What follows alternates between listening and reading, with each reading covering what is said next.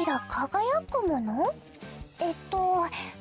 のじゃないかもしれないんだけどいいかな？あのね私はお友達と気持ちが通じた時に自分の心がキラキラってする感じがします。私はパパって早く返事をしたりするのが苦手でもしかして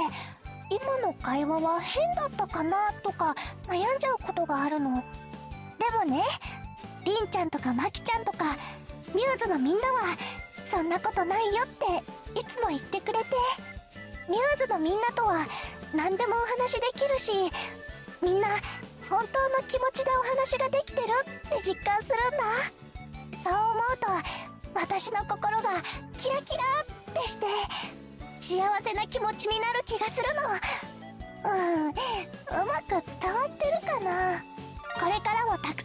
さんお話をして幸せになって心のキラキラが